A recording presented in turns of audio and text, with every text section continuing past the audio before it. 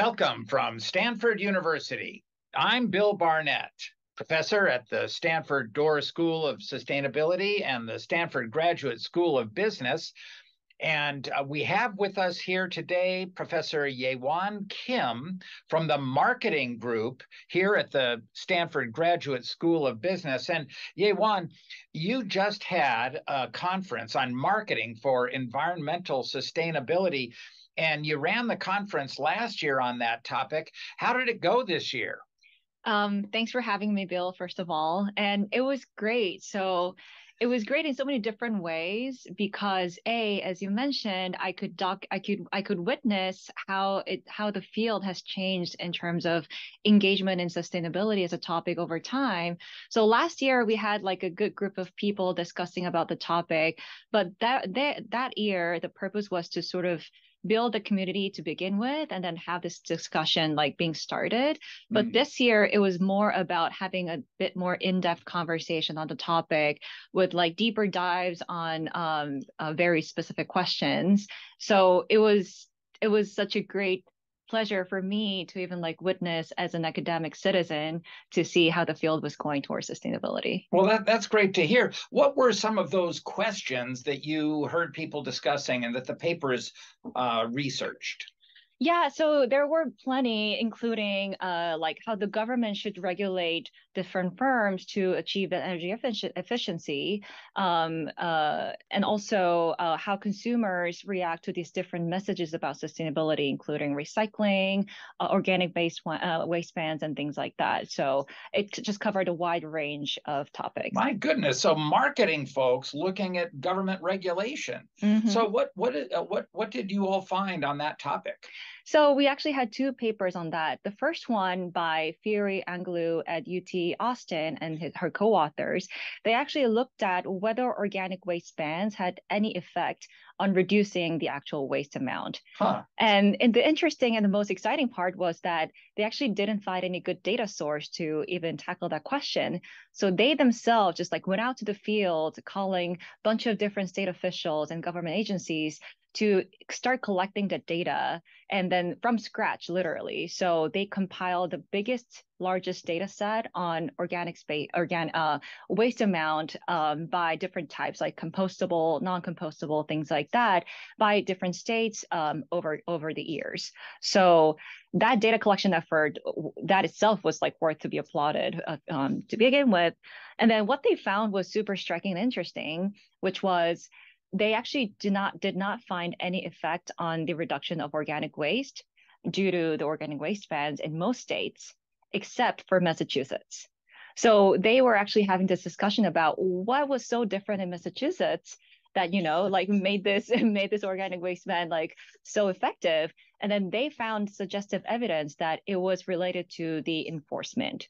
So uh um, other than other than in Massachusetts, in other in most other states, there were not many enough like officials to actually enforce these rules, and also there were not many compost. Um, how do you say like compost stations? Uh, let's yes, say. Yes. So like since these companies didn't have different outlets to put these organic waste bans um, they just like didn't they almost chose like not to follow the regulations that were that was not enforced at all so it was like such an interesting but also kind of like you know mind-blowing um, conclusion and then it just got like a lot of heated discussions well yeah. that's very applicable too because so when we're setting up policies in general we'll have to make sure that we have enforcement and really the execution side as well as the policy which always gets all the attention. Exactly. And then the other paper that was presented was uh, by our own juan carlos in economics department here at stanford gsb so his and uh, uh, his co-authors and himself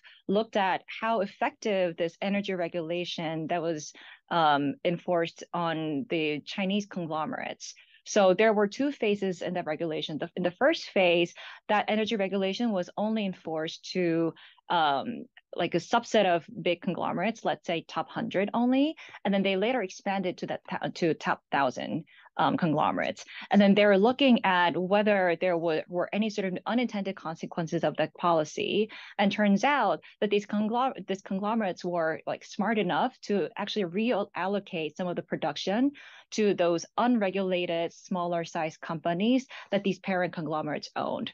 So that regulation although kind of uh, that regulation despite this like really hard enforcement on the top 100 or top 1000 companies it has some you know spillover effects to uh, the non-regulator side regulated side which made the actual effective size of policy a little smaller than the nominal effective size. I see. size. I see. And and these were environmental policies. yes yes So so if if I understand this right, then if we were measuring something like a scope one mm-hmm. compliance, Mm-hmm. it would look like the policies were effective. And and for you listeners, you may know this, but scope one is where you're actually looking at the activities of the organization itself.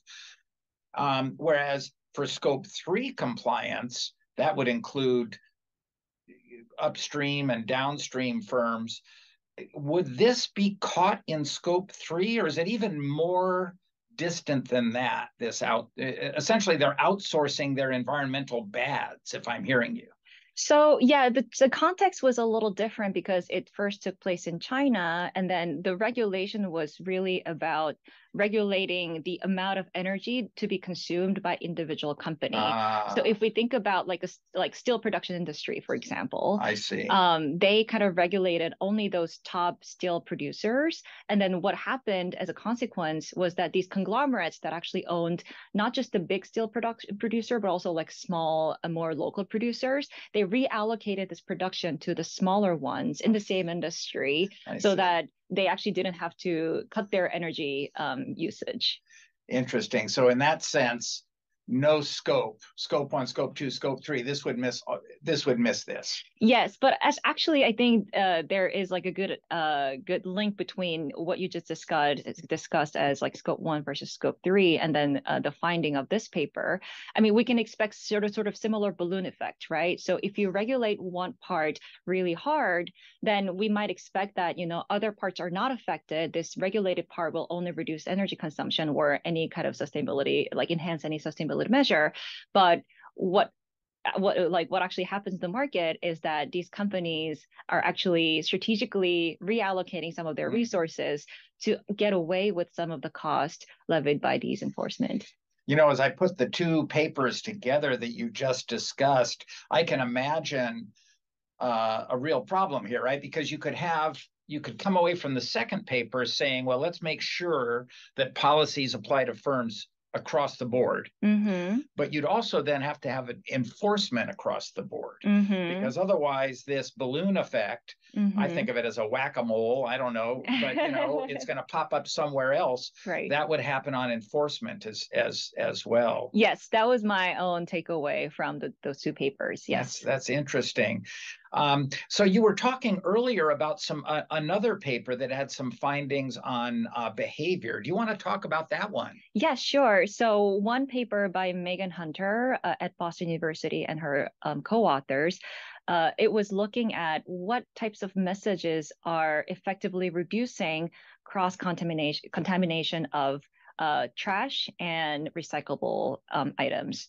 So it's a huge issue that you know a lot of people just put this like uh, non-recyclable recyclable items to the recycling bins, hoping that it at some point will become recyclable. So there is even a term called wish cycling Oh, that creates a lot of cost on the recycling side as well because you know if the entire if if one recyclable one recycling bin actually has one non-recyclable item in that bin uh, it's likely to it's likely that the entire bin actually goes to the waste. Oh, so yeah because of that one trash item the entire recycling bin becomes contaminated that's why that's where this term contamination is coming from Oh, so goodness.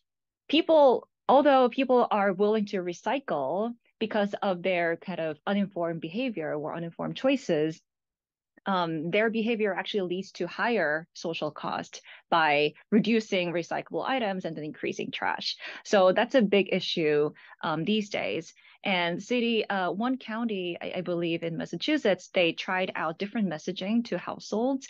Uh, and in one messaging, they said, uh, they specified all the recyclable items as like images. So you can put like plastic bottles in it, you can put um, like uh, cardboard boxes in it, so on and so forth. But in other, another scheme, they actually um, specified that these items are not recyclable. So, for example, in Massachusetts, in, in that county specifically, black plastic is not recyclable because it actually can it, it can break down the recycling machine because of the color so the recycling machine encodes these like different colors and then that is used to um, um, put you know recycling items separately from this trash but because uh, for that reason um, this black plastic is not supposed to go to plastic bins but but of course like a lot of consumers put their you know black plastics like after having some food to go just into a recycling bin. So they also tested out these different messages saying like these are not recyclables. And then turns out these more negative message um, is uh, not only um, reduces the contamination rate, but also keeps the recycling behavior the same. Mm. So one sort of one thought that a lot of researchers had was like, what if this negative message is actually, you know, discourage this entire recycling behavior to begin with because of like some psychological reasons, right? But they, in fact, do not find any negative effect of those negative messages, but only positive effect on reducing contamination rates. Oh, that's that's really interesting. So, so Yewon, thinking about everything that came up at the conference, what surprised you the most in terms of the different findings or ideas that people discussed? Um, I would say two things. First, I only touched this point briefly when I talked about the first set of papers. The first point is that there are not many great data sources that can be used by academic researchers, even if they have all these great questions to study. Mm. So going back to this like uh, organic waste ban paper is like they actually didn't have any good data set on waste, like any kinds of waste, and that's the fact. Um, and also uh, this paper about recycling messages, these uh, team of researchers, they actually went um, out to the field, checking every single recycling bin and trash bin by themselves, like um, like on their own, like and checking whether or not any recycling bin was contaminated with any trash after these messages were distributed. So that data collection effort was really amazing. To it was inspiring, um, definitely, but also it sheds light on this like um, urgent need to have uh, collect better data sources um, to tap into the sustainability related question. Mm, so absolutely, and that's here in the United States States, I wonder worldwide it might even be more of, of an issue, I would imagine. Mm-hmm. Yes, uh, absolutely. And the second uh, point is sort of related to the first point, and that is that there are so many questions that we think we might have an answer, but we still don't have an answer of. So, for example, there was a paper by Max Pachali and his co-authors about the impact of animal welfare claims on meat product choices. So they, they were using this exogenous policy variation in which uh, these retailers sort of came up with a unified labeling system of animal welfare. And then before and after that label uh, system adoption, how consumers change their product choices within this meat substitute uh, meat product category. And and I was I, I I actually had a chance to discuss the paper as a discussant. And when I first got that paper, I thought, hmm, like I'm sure there must be some other papers out there which was tr- like trying to tackle this idea of like quantifying, you know, how the consumers will pay, pay for higher animal welfare. Turns out there was none. So hmm. it was really interesting to me to uh, to realize that these like almost like seemingly fundamental, very basic questions on sustainability are still to be answered, uh, which is partly due to the lack of data set, um, which I pointed at earlier.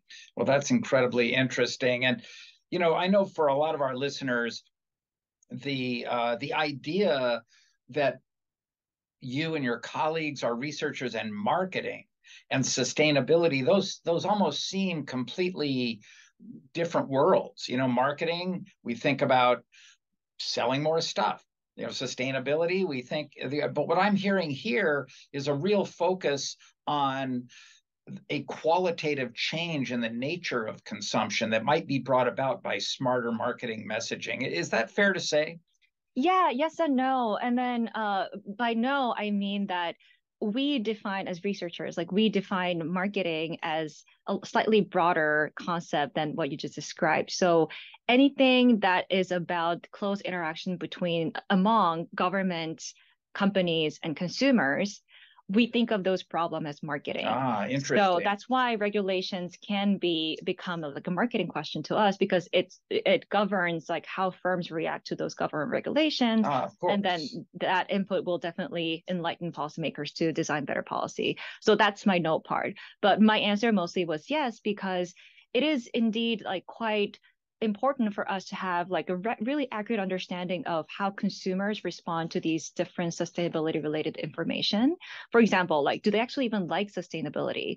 They all they like they all say that they like sustainability but do do we really find that evidence in real purchase data? Mm-hmm. so that is some like kind of step zero question that we marketing researchers have to have a great uh, have a good answer of.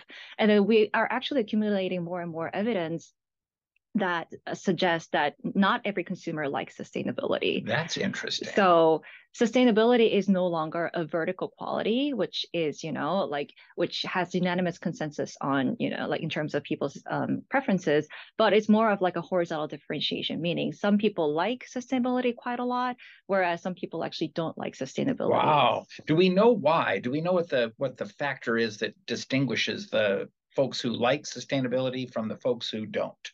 Yeah, so there is one psychology paper that kind of sparked a lot of follow up empirical papers uh, that talked about how consumers make this implicit trade off between sustainability feature and the performance quality. So if you see a laundry detergent that has sustainability related claims on top of it, people almost assume that, oh, then that laundry detergent might not be as effective, not might not be as powerful as non-sustainable items. So because of that trade-off, some people actually like non-sustainable items even more because they they put a lot higher weight on that performance aspect compared to sustainability. Oh, aspect. that's interesting. That's uh um, you know just just understanding that could help us go a long way to maybe reframing the way we talk about exactly. more sustainable products. Exactly. And this is anecdotal and then there is no academic research on this but if you think of a tesla i mean we all know that ev is like you know like reducing carbon emission like compared to um, these like traditional gasoline cars. But if tesla promoted themselves as eco-friendly brand to when they first came out to the market would they actually um, have faced the same market share as they do right now? Mm. Uh, because Tesla, they like their brand positioning was not really around environmental sustainability when they came out to the market. It was all about quality, like performance, like this technology innovation, right? And then like as a side almost like no no as as a as a consequence they actually do have this more environmentally sustainable features so if you think about that Tesla's positioning and how that worked in the market, um, maybe we can think of how to position sustainable products slightly differently. That's interesting. That's interesting, and uh, it's going it's going to cause me to be thinking about this long after our interview, Yewon. Yewon, thank you so much uh, for talking with us today. Uh, and uh, uh, for you listeners, if you want more information about uh, Professor Yewon Kim's recent conference on marketing for environmental sustainability. You'll see it on uh, the web page associated with the Stanford Initiative on Business and Environmental Sustainability. And so, uh, for Yewon Kim and for myself, Bill Barnett, until next time. The Stanford Initiative on Business and Environmental Sustainability podcast series is sponsored by the Stanford Graduate School of Business, and the Stanford Doerr School of Sustainability. Music by Charged Particles. That's Caleb Hutzler, Mike Rock, and Jon Krosnick.